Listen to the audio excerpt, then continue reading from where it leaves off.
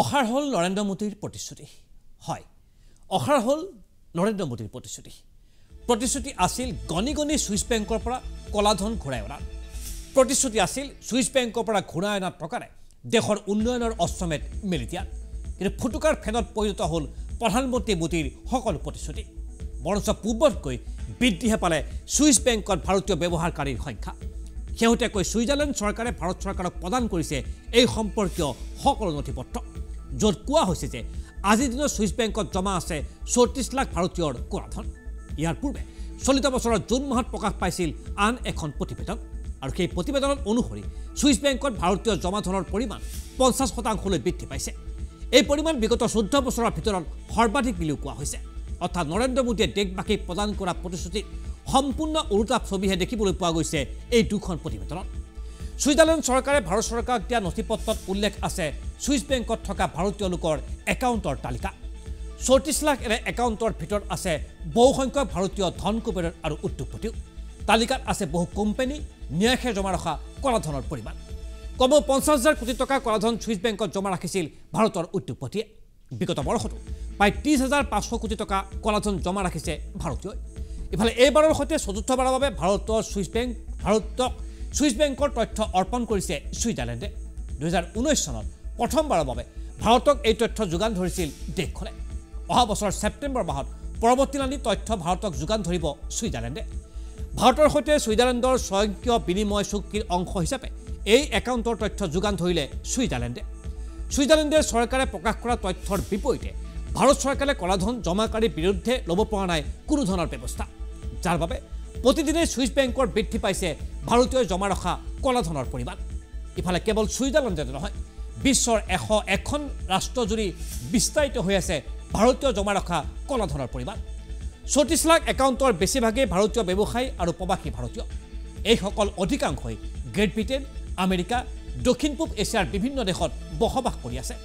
মূলতঃ চৰকাৰে কৰ ফাঁকি দি অবৈধভাৱে ছুইচ বেংকত জমা ৰাখিছে বৃহৎ পৰিমাণৰ কলাধন কিন্তু ছুইচ বেংকৰ পৰা কলাধন ঘূৰাই অনাৰ ক্ষেত্ৰত ফলপ্ৰসূ ব্যৱস্থা ল'বলৈ সক্ষম হোৱা নাই কেন্দ্ৰৰ নৰেন্দ্ৰ মোদী চৰকাৰ। ডিঙিৰ শিৰ ফুলাই পূৰ্বে প্ৰতিখন নিৰ্বাচনী সভাতেই কলাধন ঘূৰাই অনাৰ কথা কৈছিল নৰেন্দ্ৰ মোদীয়ে। কিন্তু সেই নৰেন্দ্ৰ মোদীৰ মুখত আজিকালি শুনিবলৈ পোৱা নাযায় ছুইচ বেংকৰ প্ৰসংগ। শুনিবলৈ পোৱা নাযায় কলাধন ঘূৰাই অনাৰ কথাও। লগতে শুনিবলৈ পোৱা নাযায় ছুইচ বেংকৰ পৰা ঘূৰাই অনা টকাৰে প্ৰতিগৰাকী ভাৰতীয়ৰ একাউণ্টত পোন্ধৰ লাখকৈ টকা জমা দিয়াৰ কথাও। নিৰ্বাচনী বৈতৰণি পাৰ হ'বলৈকে যেন এটা ইছ্যু তৈয়াৰ কৰি লৈছিল বিজেপিয়ে। কলাধনৰ প্ৰসংগও এক নিৰ্বাচনী ইছ্যু আছিল নেকি বিজেপিৰ বাবে? নিৰ্বাচনৰ পূৰ্বে কোৱাৰ দৰে কিয় আজিও ছুইচ বেংকৰ পৰা উদ্ধাৰ কৰিবলৈ সক্ষম হোৱা নাই ভাৰতৰ সেই কলাধনসমূহ এই ক্ষেত্ৰত মোদী চৰকাৰৰ সদিচ্ছাৰ অভাৱ নেকি? যিসকল লোকৰ কলাধন এই ছুইজাৰলেণ্ডৰ বেংকত মজুত আছে সেইসকল নৰেন্দ্ৰ মোদী চৰকাৰৰ অতিকৈ ঘনিষ্ঠ নেকি? তাক লৈ এতিয়া উত্থাপিত হৈছে প্ৰশ্ন। সেই প্ৰশ্নই এতিয়া উদয় হৈছে দেশৰ সচেতন নাগৰিক সমাজৰ মাজত। আৰু সেইবাবে যেন প্ৰশ্ন উত্থাপিত হৈছে। নিৰ্বাচন আহিলেই বহু কথা কোৱা হয়।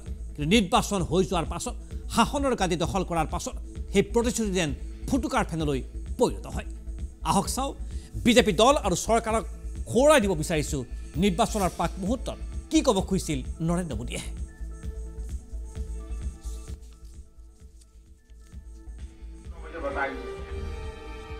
कि हमारी चोरी किया हुआ पैसा वापस आना चाहिए कि नहीं आना चाहिए? ये काला धन वापस आना चाहिए? ये चोर लुटेरों से एक एक रुपया वापस लेना चाहिए? इस रुपयों पर जनता का अधिकार है कि नहीं है? ये रुपया जनता के काम आना चाहिए? अरे एक बार ये जो चोर लुटेरों के पैसे विदेशी बैंकों में जमा है ना उतने भी हम रुपये ले आए ना तो भी हिंदुस्तान के एक एक गरीब आदमी को मुफ़्त में पंद्रह बीस लाख रुपए यू ही मिल जाएगा। इतने रुपये। ये हमारे एमपी साहब कह रहे थे रेलवे लाइन ये काला धन वापिस आ जाए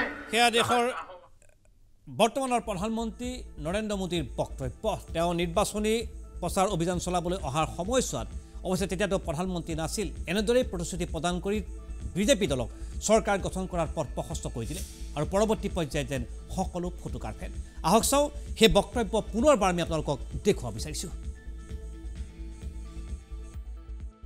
मेरे कांकेर के भाइयों बहनों मुझे बताइए कि हमारी चोरी किया हुआ पैसा वापस आना चाहिए कि नहीं आना चाहिए? ये काला धन वापस आना चाहिए? ये चोर लुटेरों से एक एक रुपया वापस लेना चाहिए? इस रुपयों पर जनता का अधिकार है कि नहीं है? ये रुपया जनता के काम आना चाहिए? अरे एक बार। ये जो चोर लुटेरों के पैसे विदेशी बैंकों में जमा है ना उतने भी हम रुपये ले आए ना तो भी हिंदुस्तान के एक एक गरीब आदमी को मुफ्त में पंद्रह बीस लाख रुपए यूं ही मिल जाएगा कितने रुपये এনেদৰে নিৰ্বাচন আহিলেই বহু প্ৰতিশ্ৰুতি প্ৰদান কৰা হয় কিন্তু প্ৰতিশ্ৰুতিবিলাক প্ৰতিশ্ৰুতিয়ে থাকি যায় কলাধনৰ অস- ভাৰতলৈ ঘূৰি নাহিল ছুইচ বেংকত থকা কলাধনসমূহ ভাৰতলৈ ঘূৰি নাহিল আৰু সাধাৰণ লোকসকলৰ বেংক একাউণ্টতো পোন্ধৰ লাখকৈ টকা জমা নহ'ল। বৰঞ্চ ছুইচ বেংকৰ একাউণ্টত ভাৰতৰ কলাধনৰ সংখ্যা বৃদ্ধি পাবলৈহে আৰম্ভ কৰিছে। এয়া আমি কোৱা কথা নহয় বা বিৰোধী শক্তিয়ে কোৱা কথা নহয়। স্বয়ং ছুইজাৰলেণ্ডে প্ৰকাশ কৰিছে এই বিশেষ তথ্য আৰু তথ্য ইতিমধ্যে আহি পৰিছে কেন্দ্ৰৰ মোদী চৰকাৰৰ হাতত। ইয়াৰ পিছত মোদী চৰকাৰৰ হাতত বা বিজেপি দলৰ ওচৰত কিবা উত্তৰ আছেনে? নিশ্চয় উত্তৰটো তেওঁলোকৰ হাতত নাই আৰু নথকাৰ পিছতেই সৃষ্টি হ'ব হয়তো ব্যাপক প্ৰতিক্ৰিয়া।